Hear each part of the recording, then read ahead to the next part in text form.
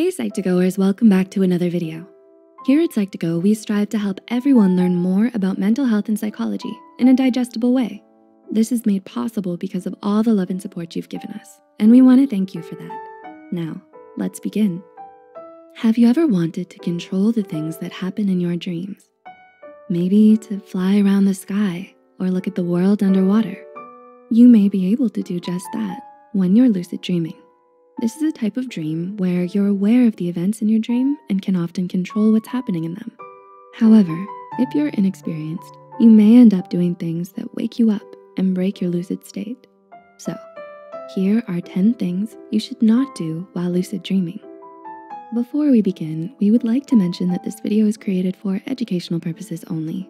Psych2Go discourages self-diagnosis and advises that this be done in a safe environment and with a professional present. Number one, don't close your eyes. Are you tempted to close your eyes when you're lucid dreaming? Maybe you wanna see if you'll have a dream within a dream. However, your conscious brain may end up interpreting that impulse as trying to physically close your eyes. This may pull you away from your subconsciousness and wake you up instead. Number two, don't lie down. Have you ever wanted to lie down in your lucid state? When you lucid dream, you're in a state between being conscious and being asleep. Any impulse to lay down may be registered by your conscious brain to actually move, which may end up breaking the dream and waking you up. Number three, don't think about your real body. Do you feel an itch somewhere or wanna stretch your muscles?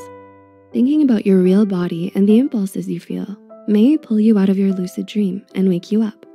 By disconnecting yourself from thoughts about your real body, you can train yourself to stay and experience the lucid state longer. Number four, don't do anything really exciting too soon.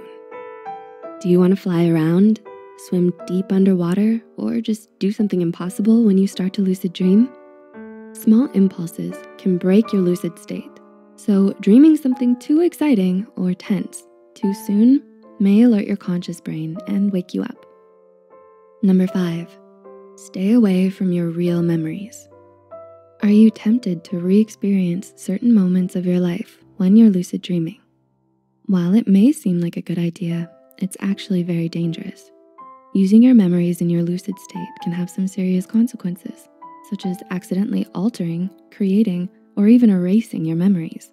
You may not even be aware that it's happening so it's safer to keep your lucid and conscious state separate. Number six, don't fantasize too often about someone you know. Do you constantly fantasize about someone you know? Maybe you dream about going on the perfect date with them or spending time with them outside of school. The memories you create in your lucid state may slip into your real memories without you being aware of it. This may end up affecting and hurting your relationship with that person in real life. Number seven, don't wish for something scary. Were you ever curious to see what would happen if you were to wish for something scary? Since lucid dreaming is to look into your subconsciousness, your wish to see something scary can be a very harrowing experience. Your brain knows all about your triggers and fears, so it may be best you avoid making such a wish. Number eight, avoid mirrors. Have you wanted to pick up a mirror and see how you look when you're lucid dreaming? It's highly unlikely that you'll see your actual self, the one you're used to seeing when you're awake. Instead, you may end up seeing how your subconscious views yourself, which may not be what you expected. Number nine, don't overdo it. Do you find lucid dreaming incredibly exciting? You may find yourself flying around or controlling gravity with no consequence whatsoever.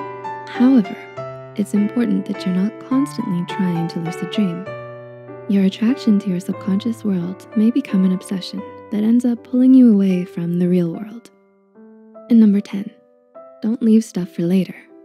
Have you ever postponed an activity for later or see something you wanna do but decide you'll get to it afterward? There are endless possibilities when you're lucid dreaming, so you may end up wanting to put some things off for a later time. However, each dream is unique and cannot be replicated. So you may wanna do the thing you wanna do before you wake up. Have you ever had a lucid dream? Tell us about your experience in the comments below. If you enjoyed this video, please like and share it with others who may find it insightful too. Don't forget to hit the subscribe button and notification bell icon for more Psych2Go content. All the references used are also added in the description box below. Thank you for watching and we'll see you in our next video.